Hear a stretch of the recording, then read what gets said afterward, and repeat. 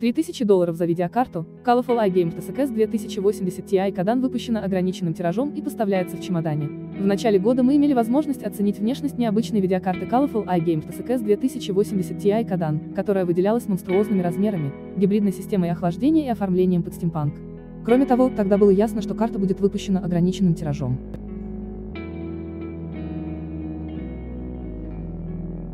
Теперь эту 3D-карту можно купить. Если сможете, потому как цена составляет почти 3000 долларов. Всего будет выпущено лишь 1000 таких ускорителей, хотя еще вопрос, найдется ли 1000 покупателей, готовых в несколько раз переплатить за RTX 2080 Ti.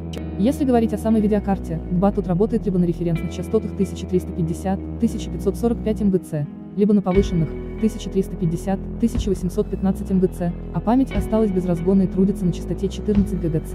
Длина карты 317 мм. Кроме того, она занимает три соседних слота расширения и требует подключения трех восьмиконтактных разъемов питания. Весит адаптер более 2,7 кг.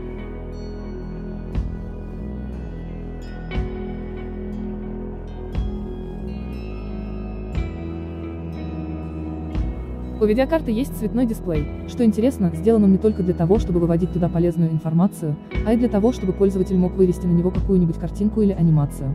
Вместе с видеокартой поставляется и помпа с радиатором для системы охлаждения. При этом упаковано все не в коробку, а в большой чемодан.